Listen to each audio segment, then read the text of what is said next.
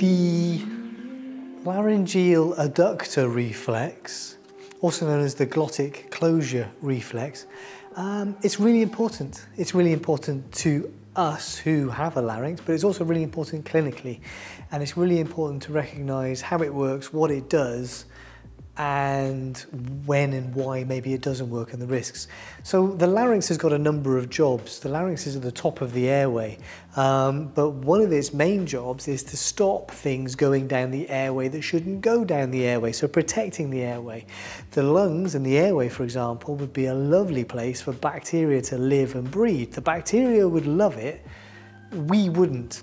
That leads to pneumonia. So the laryngeal adductor reflex essentially prevents pneumonia. Uh, let's look at the anatomy of it, yeah?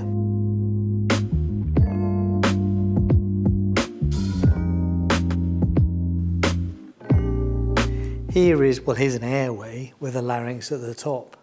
So this apparatus here is doing what I described. The larynx has a number of jobs. You know, we use it to make sound, um, but the, the function we're interested in today is protecting the airway. Um, up here we have the epiglottis now. When you swallow, the larynx gets lifted up and down. So the problem is, or one of the, no, the problem is that we have a, a shared intake tube. So this intake tube can carry food and water and it can carry air. So there's a crossover, there aren't separate pipes. Uh, which means that the airway needs to be protected from that food and water. It needs to be sent down the esophagus and not down the airway. And when you swallow and the larynx gets lifted up, the epiglottis here, um, as the larynx lifts up, it flops down, it's like a flap valve, it flaps down over the airway, over the larynx, to encourage food to go around it into the esophagus. But the epiglottis it doesn't make a perfect seal. It doesn't make a perfect, super strong, airtight seal. That's the end of the story, but it's part of it. But inside the larynx, if I take this apart, we have the vocal cords, right? Um, and the vocal cords, uh, we can move them, so we can put tension on them and then blow air over them and make sound. Um, so in a cross section there, there's the epiglottis. That's the false vocal cord here, which is the bottom of this membrane.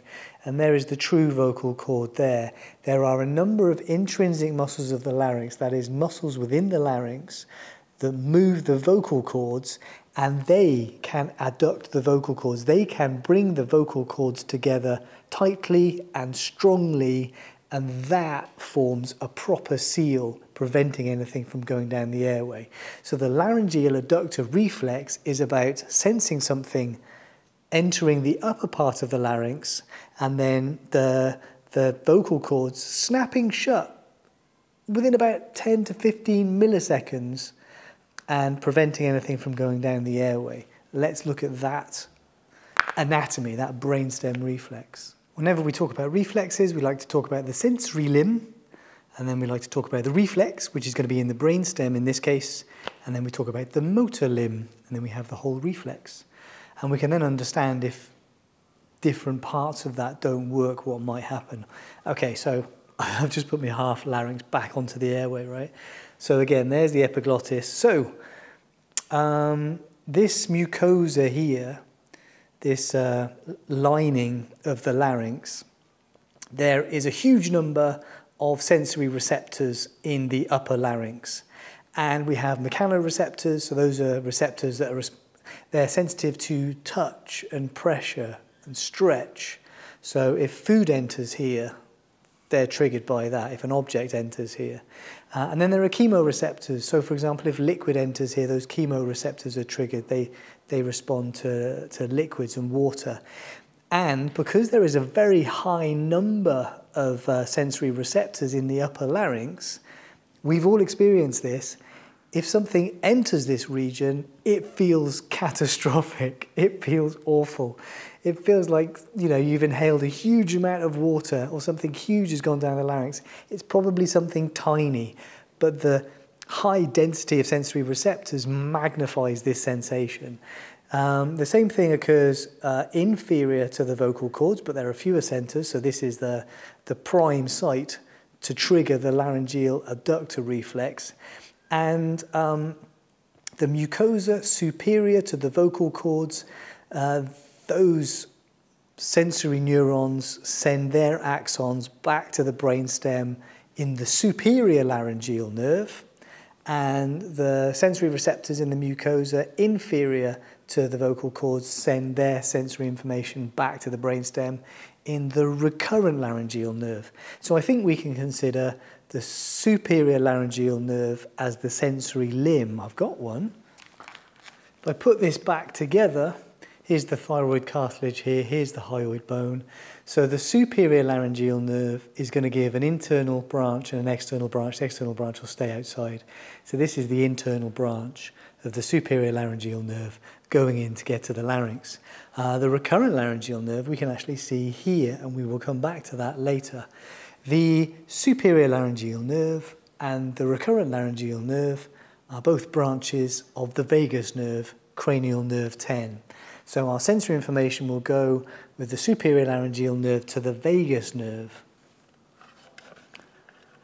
Here's the vagus nerve here. It's running up with the common carotid artery. So it will be running up between the common carotid artery and the internal jugular vein, and it'll run up to the skull. Those sensory fibers, by the way, they're going to run to the inferior vagal ganglion first because uh, sensory neurons, their neuron cell bodies are always outside the central nervous system. So the cell body is in the ganglion, it sends an axon down to the laryngeal mucosa and then another axon up to the brainstem. Anyway, so those sensory fibers will run as part of the vagus nerve. The vagus nerve is very busy, has a lot of jobs to do, and it will run up and into the skull through the jugular foramen. And then we're at the brainstem, and specifically we're in the medulla. So the brainstem has three parts, the medulla oblongata, the pons, and the midbrain. And cranial nerve 10, the vagus nerve, is going to enter the medulla and these sensory fibers will pass into the solitary tract or the solitary nucleus or the tractus solitarius. It has a number of names, but the solitary nucleus. So this is where a lot of sensory inputs pass into the brainstem. Now we have a very nice straightforward reflex within the medulla on the same side so those sensory fibers carrying that sensory information from the upper part of the larynx goes into the solitary nucleus, and then a, um, a relay neuron will pass to the nucleus ambiguus. And the nucleus ambiguus is sending somatic motor fibers, somatic motor neurons, out to the intrinsic muscles of the larynx. They are also going to pass out with the vagus nerve. So, the motor part of the reflex, then, those neurons are running down the vagus nerve. Here I've got a model of the chest. I've taken the lungs out from either side because we're going to talk about the recurrent laryngeal nerve, which is always fun. Now, the vagus nerve is going to, oh, it's running down here, and then it's going to run into the chest and down to the uh, esophagus and down to the abdomen. Like I said, it's got a lot of jobs to do. The reason the recurrent laryngeal nerve is called the recurrent laryngeal nerve is because it branches from the vagus down in the chest. Uh, and it then loops and runs back up to the vagus nerve. Very inefficient. Um, so what we see here is the vagus nerve coming down, running around the arch of the aorta, but as it goes, it's giving off the recurrent laryngeal nerve which is then going to run back up again. Um, and on this side, on the right side, the, the vagus nerve runs past the, um, past the subclavian artery and the recurrent laryngeal nerve, loops around and passes back up. So on the right side, the recurrent laryngeal nerve loops around the subclavian artery. On the left side, the recurrent laryngeal nerve loops around the arch of the aorta. And then those recurrent laryngeal nerves both pass back to the trachea because the trachea will lead them back up to the larynx, right? Trachea. So here it is on the posterior corner of the trachea. There's the recurrent laryngeal nerve. So these fibers are running in this direction. And now they can get inside the larynx and they're going to innervate all of these intrinsic muscles of the larynx. Now, the light, uh, there's a lot of muscles here, but the, the um, arytenoid or arytenoid, if you prefer, muscles running between them, and the lateral cricoarytenoid muscle will adduct the vocal cords. They'll move the arytenoid cartilages such that the vocal cords get pulled together. So the recurrent laryngeal nerve is the motor limb responsible for adducting the vocal cords. Uh, a little bit of unnecessary detail maybe, but here we have the cricothyroid muscle, and the cricothyroid muscle is actually innervated by um, the superior laryngeal nerve. And during the laryngeal adductor reflex, this muscle contracts, which tilts the, uh, the thyroid cartilage anteriorly. Here's a, oh, look, there's a flappy epiglottis. This is kind of a functional larynx. So, yeah, you move the arytenoid cartilages, you can open and close the, the, um, the vocal cords, but the current thinking is that if you use the cricothyroid muscles to pull the thyroid cartilage anteriorly, that's also involved in bringing the vocal cords a little more medially. Does that make sense? Do you see what I mean? Um, because when I talk about injury, there's some current thinking about that. But, but that's the reflex. So the reflex is um, an object or liquid touches the mucosa of the upper larynx. Sensors send that sensory information through the superior laryngeal nerve to the vagus nerve. The vagus nerve runs up to the medulla, goes into the solitary nucleus. That relays to the nucleus ambiguus, which then drives the motor output, those, those neurons through the vagus nerve, the recurrent laryngeal nerve, to cause the intrinsic muscles of the larynx to adduct the vocal cords to close them together very, very rapidly so that whatever has entered the upper larynx doesn't go into the trachea. That's the plan. Um, clearly, there must be some other links in the brainstem that also pause breathing. So there's probably some outputs to the uh, respiratory centers. We've talked about those reflexes elsewhere as well. Um, why does this go wrong? What happens when it goes wrong? The major clinical consideration here then is the safe swallow. Um, the laryngeal adductor reflex, it might not be completely lost, but that's, the sensory threshold might go up. This is common with aging, with neurodegenerative disorders, with long-term tracheostomies, uh, maybe with long-term intubation, with chronic obstructive pulmonary disease, with gastroesophageal reflux disease, uh, with obstructive sleep apnea. Do you see what I mean? So later in life, this becomes a more common issue, and it's important for the clinician to determine whether this person has a safe swallow, because if they don't have a safe swallow, then when they're eating and drinking, there is an increased risk of them developing pneumonia as a result because of bacteria, because of pathogens passing into the airway.